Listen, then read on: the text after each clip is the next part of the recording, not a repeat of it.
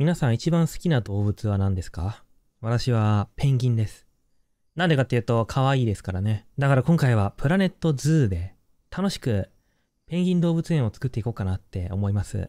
それではやっていきましょうか。名前はもちろんペンギン動物園ですね。さあ、このゲームやんのすっげえ久しぶりだからやり方を完全に忘れちまったぞ。とりあえず道を作る必要があるのはわかる。ペンギンの看板。いいねいいね。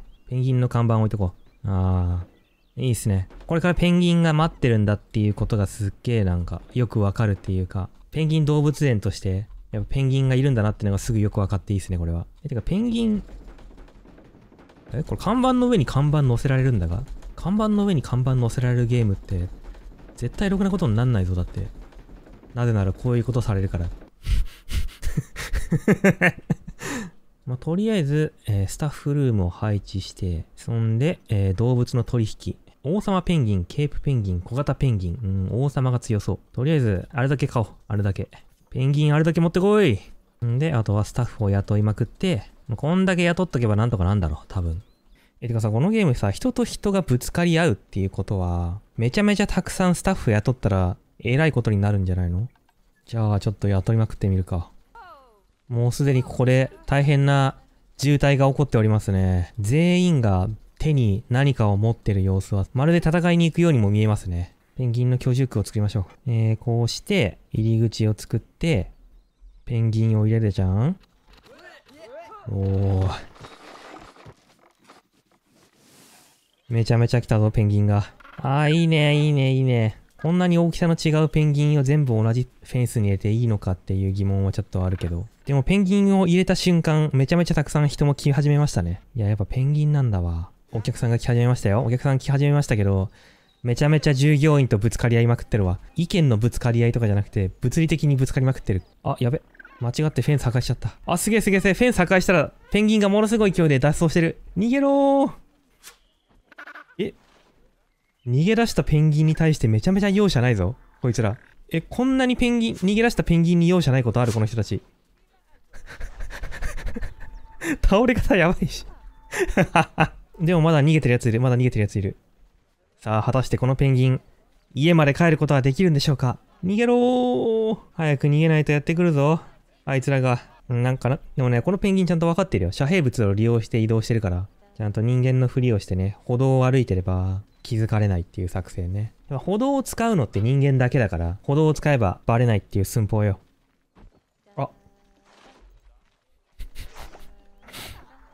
ペンギンの倒れ方シュールすぎるな。で、入り口もなんかすでに大変なことになってる。じゃない、フェンスを復活させよう。ほら。はい。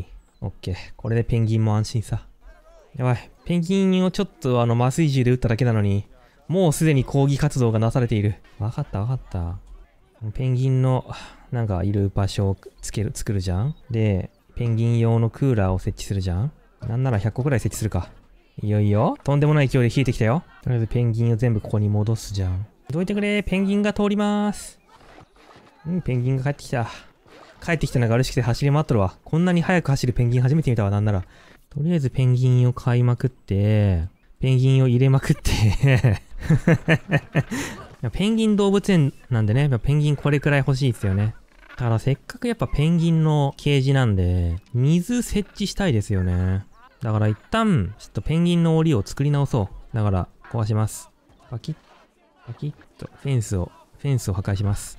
フェンスを破壊しますって言った瞬間、ペンギンが、なんか、準備を始めたぞ。さあ、ペンギンは逃げ出し始めるか？あ、ペンギンが逃げ出したペンギンが逃げ出したぞペンギンアラームが鳴ってる。ペン、ペンギンは逃げ出しても人は逃げ出さないんだな。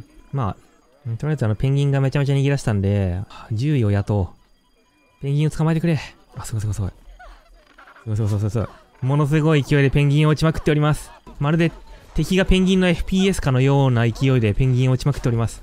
ふぅ。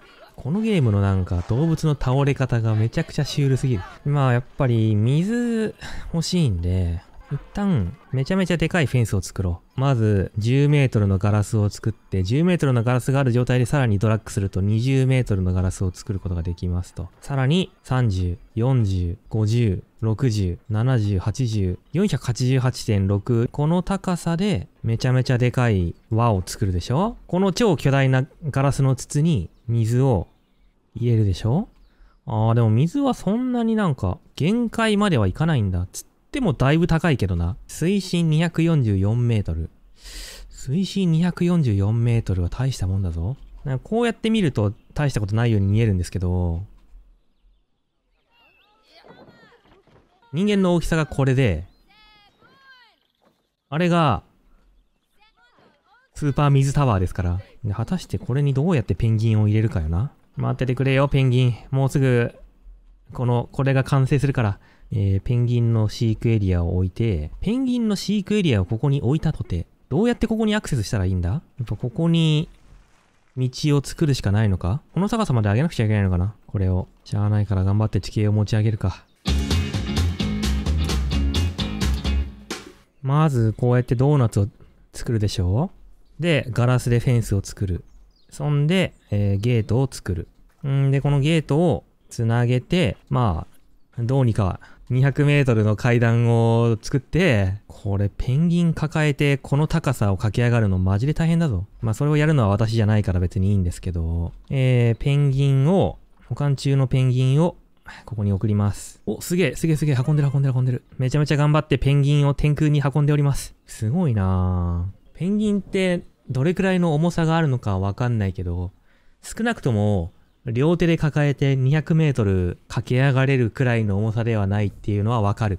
おー、たどり着きました、目的地に。おー。ペンギンはやっぱ空飛べない分、こうやって高いところに置いてあげないとね。お、大丈夫か？足滑らせんなよ、マジで。すごいすごいすごい。チキンレースしてる、このペンギン。あー、危ない危ない危ない危ない危ない。すごいな、大丈夫かな、本当に。さあ、このペンギンの飼育エリアも作っちゃってね。あとは、ここの下に、水、水場を作りたいですね。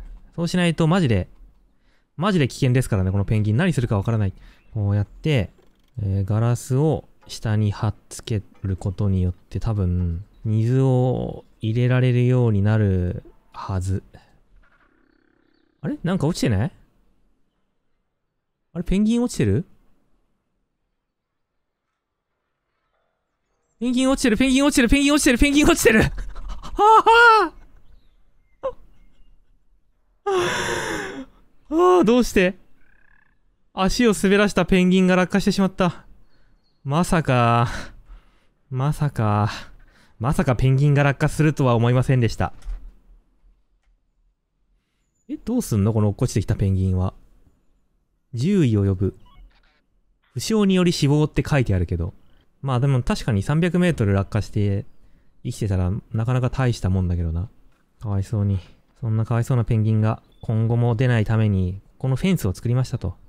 しかしなんであのペンギン落っこちたんだ？ギリギリを攻めるペンギンが多いのはわかるんだけど、そもそもなんで割みんなこのペンギンどもはギリギリを攻めてるんだ？地形の設定はこの動物に非常に不適切です。まあそうだろうね。ペンギンの遊び場をさ、じゃあ、ここに置いてみるか。あ、やべ。あ、ペンギンの遊ぶ遊べるアイテムをさ、この崖ギリギリに置くと落っこちてっちゃうな。お、ペンギンが遊びに来た。お興味を持っております、このペンギン。まあ、興味を持ってはいるけど、特に遊ぶって感じでもないかな。やっぱ命の危機を感じてはいるのかもしれないな。まあでも落下してんのがおもちゃでよかったよ。ペンギンだったら取り返しのつかないことになるからな。ちなみにこのギリギリを攻めてるペンギンの足元削ったらどうなるのかな。うーん、やっぱ上がろうとする。そう考えると、あの落下してったペンギンはマジで何だったんだ？一定確率で足を踏み外すみたいな、そういう設定があんのかな、内部では。まあ、とりあえず周りもせっかく、あの、ガラスで囲んだんで、あとは、ちゃんと餌もあげないとな。このね、餌入れボックスをちゃんとやってるんですけど、いかんせん大量の魚を持って300メートル駆け上がってこなくちゃいけないせいか、全然食べ物が運ばれてこないんですよね。一応全速力で魚をゲットしには行っているな。てか、おもちゃのアヒル同じところに何個でも出せるんだ。このゲームなんか同じところに何個でも出せるシリーズ多すぎるぞ。すげえ、なんかアート作品みたいになってきたな。これはこれでまた全然別の展示品として使えそうだ。ペンギンも喜んでおります。まあでもさすがにね、水を入れてあげますか。ほら、水だよ、と。え水を入れた瞬間、ペンギンが全員どっかに行ってしまった。えどこ行ったの？保管中の動物でもないし。あ、帰ってきたのか。ああ、いいね、いいね。みんな、ん？みんな泳ぐわけでもなし、ギリギリを攻めてまたどっかに向かってるぞ。いや、でもなんか、水に飛び込みそうな雰囲気はあるな。おー、ペンギンが入ってく、ペンギンが入ってく。いいね。だんだん理想の形になってきたな。すげえ、でもなんか、適応度が75%を超えたぞ。ある意味すごいいい感じだからな。問題は、この水、水深が237メートル。さすがのペンギンも一番下まで行ったら潰れるんじゃないかな。てかさ、一番最初の道がめちゃくちゃ狭いせいで、誰もペンギンのところにたどり着けてないね、これ。なんか、ここで何かが起きてる。多分帰る客と行く客がここでめちゃめちゃ押し合いして、めちゃめちゃ詰まってるね、これ。どうしようかな。ちなみにさ、これペンギンが泳いでる間に水消したらどうなんのかなおお。なるほどね。いきなりペンギンが落下しないように、水が追加されたら一旦ペンギンは元の場所に戻るんだ。まあそりゃそうよね。動物園にちょっと変更を加えたらペンギンがみんな落下死したら怖すぎるからな。ちなみにさ、水の高さをこれくらいにしたらどうなる ?200 メートルダイブするのかな？さすがにしないか。これくらいの高さならどうでもちなみに。水がギリ見えるくらい。この地形をな、どうにかして。ここをさ、めちゃくちゃ狭くしたらどうなるかな？あの、フェンスの横の道はいじれないんだ。もうちょっとじゃあ水をあげるか。これくらいどう？これくらいならさすがに飛び込むか？でも飛び込んだ後上がってこれないよな。これ。ダメか。やっぱりギリギリ飛び込める高さじゃないとペンギンは飛び込まないみたいだな。で、飛び込める高さになると一旦ここに戻されるみたいね。人々がね、下からペンギン見られるように、ここにこう、道を作ってあげよう。こう歩いてきて、あそこに見える粒みたいなやつがペンギンです。あ、でもなんか割と下の方まで泳いでくるな、ペンギン。ペンギンって水深270メートルいけんのかな？ほら、ペンギン用フィーダーボックス、水深300メートルのところにあるよ。この水深300メートルのところにある餌やり機にそもそもどうやって餌を入れるんだ？この人が担当らしいけど、さすがに生身で300メートル潜るわけじゃないよね。ちょっと300メートル潜って食べ物を入れてくれる？って言われて、全速力で300メートルまで駆け、駆け下がってるでしょこの後魚持って上に登って、で、その後また300メートル潜らなくちゃいけないわけでしょそれでこの笑顔はすごいね。さあ、この中から冷蔵庫から魚を取って、これを持って来た道を全速力で駆け上がる。すごいな、このバイタリティ。持久力が人間を完全に超えてるぞ。新しい生物としてこの人を飾った方がいいんじゃないか。この後どうやって深海に食べ物を持っていくんだろうな。あ、こっから？さすがに深海に潜っていくことはできなかったか。おー、出てる出てる。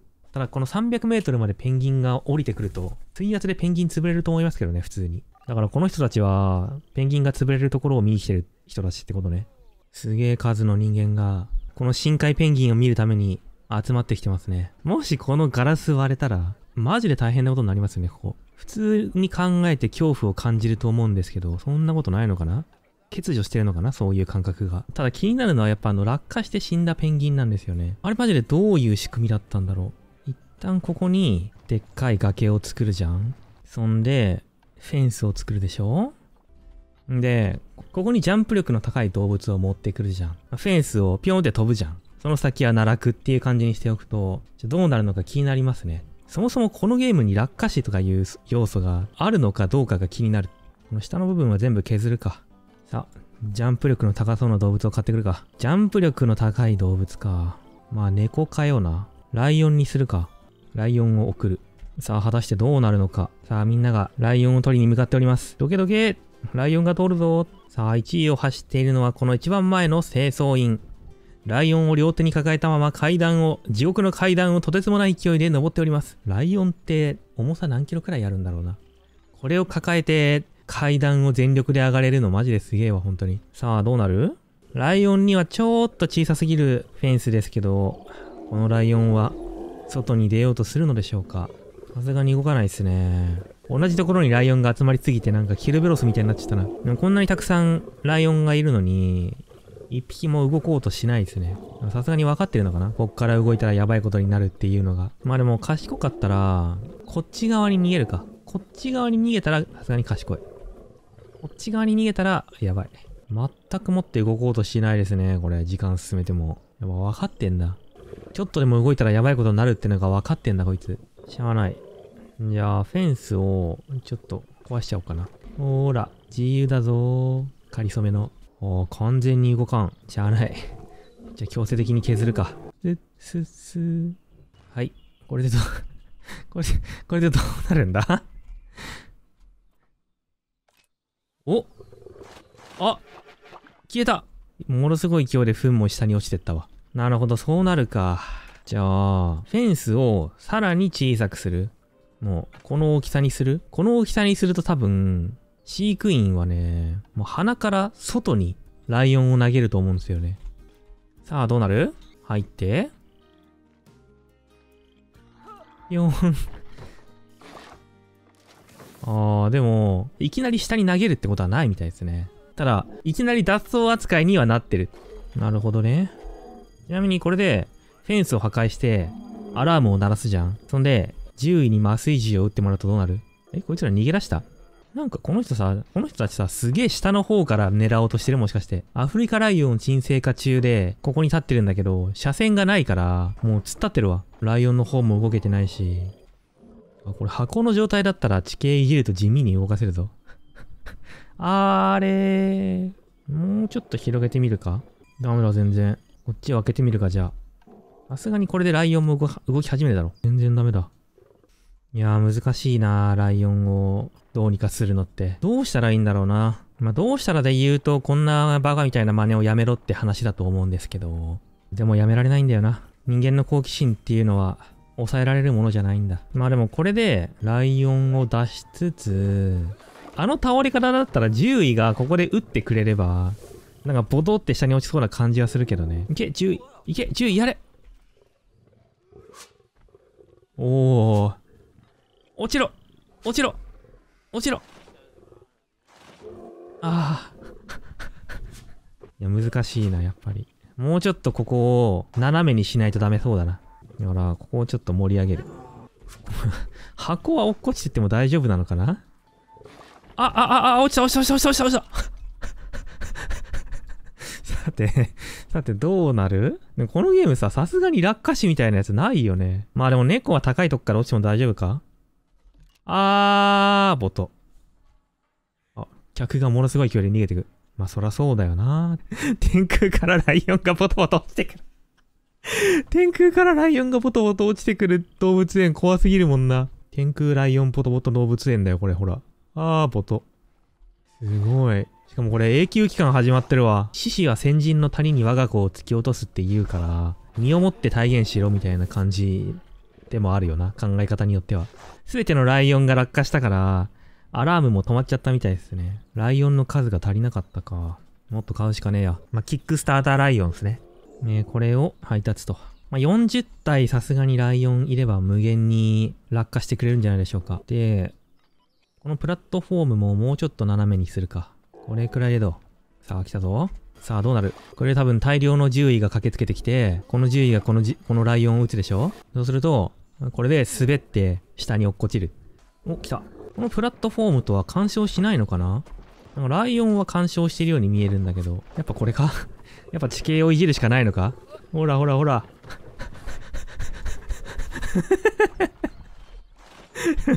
シュールすぎるいくらなんでもシュールすぎるってこれ。ほらほらほらほらほら。なんかないのかないやでもこの漆喰の壁はうまくいってる感じがするな。あ、なんかうまくいってるうまくいってる。なんか、なんか偉いことになったわ。なんか動物 ライオンの入った箱がめちゃめちゃ天空から落ちてくる動物園。あれ？なんかついに、ついに空中で運ぶ、空中でライオンを運ぶ人まで出てきた。あ、おっと、プラネットズーがクラッシュしたようです。この問題の修正にご協力いただける場合は、クラッシュ時の行動を以下のボックスに記入してください。えっ、と、無限ライオン空中ボトボト動物園を作っていたところ、空中を歩く獣医が出てきてクラッシュしました。まあ嘘は言ってないね。まあプラネットズームはクラッシュしちゃったんで今日はこんなもんにしとこうかな。そんじゃあ面白かったらチャンネル登録お願いします。それでは、また今度。